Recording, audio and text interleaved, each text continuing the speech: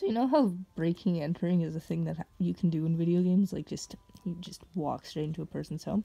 Well, in Golden Sun Dark Dawn, they've made it even more interactive. Look at this. You want to see how interactive it is?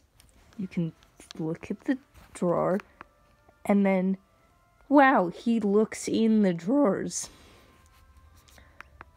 Apparently, if you send your 17 year old children on an adventure, they'll search everything. And they even check to make sure that everything is tidy.